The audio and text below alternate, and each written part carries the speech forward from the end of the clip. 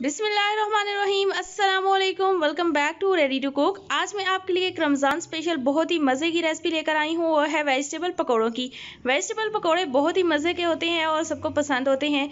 जिन लोगों को सब्ज़ियाँ नहीं भी पसंद, आप उन्हें भी ये दें, वो भी उंगलियाँ चाटते रह जाएँगे और रमज़ान में आप इन्हें इफ्तार टाइम में ज़रूर सर्व करें, क्योंकि पकौड़ों के बगैर तो इफ्तारी का मज़ा ही नहीं आता। तो इसलिए मैं आपके लिए बहुत ही मज़े की रेसिपी लाई हूँ। तो वेजिटेबल पकौड़े बनाने के लिए हमें जो इंग्रीडियंट्स चाहिए, वो आप नोट डाउन कर लें। बेसन लिया है, मैंने दो कप छान लिया है इसको मैंने। आलू लिए हैं मैंने एक कप, इनको इस तरह से बारीक बारीक स्लाइसेस में काट लिया है। गाजर ली है हाफ़ कप इसे भी बारीक स्लाइसेस में काट लिया है। शिमला मिर्च ली है मैंने वन कप स्लाइसेस में कटी हुई। बंद गोभी ली है मैंने एक कप स्लाइस्ड की हुई। हरी प्याज ली है मैंने वन कप चॉप्ड की हुई। नीम गर्म पानी लिया है मैंने हसबे ज़रूरत। प्याज ली है मैंने हाफ़ कप स्लाइसिस में कटी हुई। पालक ली है मैंने वन कप चॉप्ड की हुई। नमक चाहिए हमें हसबे जायका मैं वन टीस्पून ले रही हूँ, आप हसबे जायका ले लें। लाल मिर्च पाउडर चाहिए हमें हसबे जायका।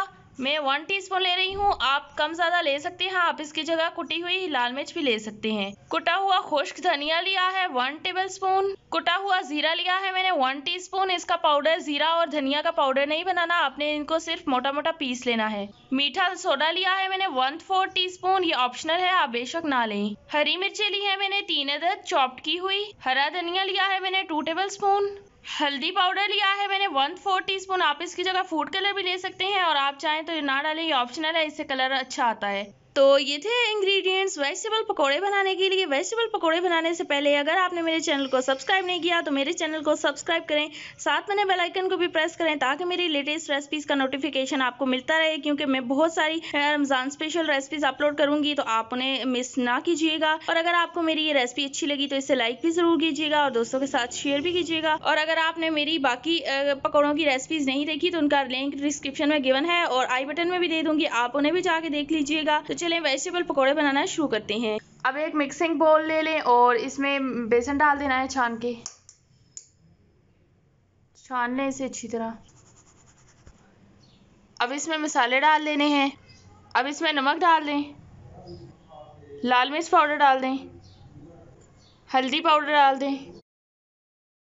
कुटा हुआ खुश धनिया डाल दें। कुटा हुआ ज़ीरा डाल दें। बेकिंग सोडा डाल दें। कटी हुई हरी मिर्चें डाल दें। कटा हुआ हरा धनिया डाल दें। अब इन मसालों को बेसन के साथ अच्छे से मिक्स कर लें। अब इसमें वेजिटेबल्स डाल देनी है। कटी हुई प्याज डाल दें। गाजर डाल दें। शिमला मिर्च डाल दें। आलू डाल दें। पालक डाल दें। हरी प्याज डाल दें। बंद गोभी डाल दें। अब इसे अच्छे से मिक्स कर लें।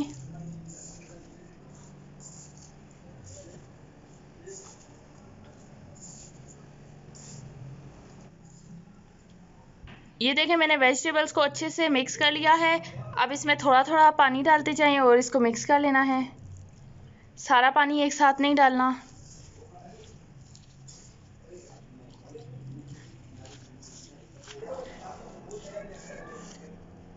वेजिटेबल्स को आपने हाथ की मदद से मिक्स करना है। चम्मच से ये सही से मिक्स नहीं होगा, बेसन इनके साथ। ये देखें मैंने इसको बहुत ही अच्छे से मिक्स कर लिया है। वेजिटेबल्स, बेसन और मसाले आपस में अच्छी तरह मिक्स हो गए हैं। अब हमने इन्हें फ्राई करना है। ये देखें इनको बहुत ज़्यादा पतला नहीं करना। ऐसी इनकी कंसिस्टेंसी होनी चाहिए तो अब इन्हें फ्राई कर लेना है। अब एक फ्राइंग पैन में ऑयल गर्म कर लें और इसमें पकौड़े डाल दें। अब इसमें पकौड़े बना के डाल दें।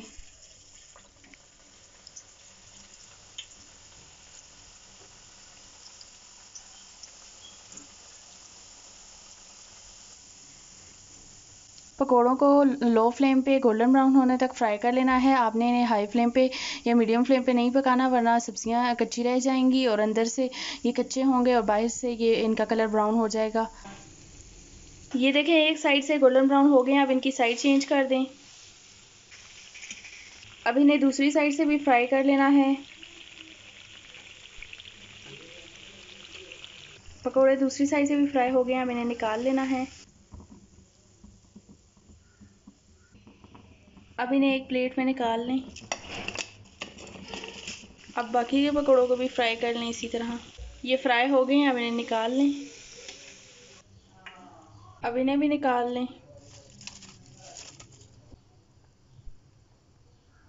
ये देखें, पकौड़ों को मैंने निकाल लिया है। बहुत ही मज़ेदार वेजिटेबल पकौड़े बनकर तैयार हैं। ये देखें बहुत ही मज़े के, बाहर से बहुत ही क्रिस्पी हैं और अंदर से सॉफ्ट हैं। बहुत ही मज़े का टेस्ट है। अब आप इन्हें किसी भी सॉस के साथ सर्व कर सकते हैं। अगर आपने मेरी चटनी की रेसिपी देखनी है, ग्रीन चटनी और मिक्स चटनी तो उसका लिंक भी मैं डिस्क्रिप्शन में दे दूँगी। आप जाके देख लीजिएगा। वैसे आप इन्हें किसी चटनी के साथ ना भी खाएँ तो ये बहुत ही टेस्टी होते हैं और बहुत ही ज़्यादा हेल्दी होते हैं। तो आप इस रमज़ान इनको ज़रूर ट्राई करें इफ़ार में सर्व करें।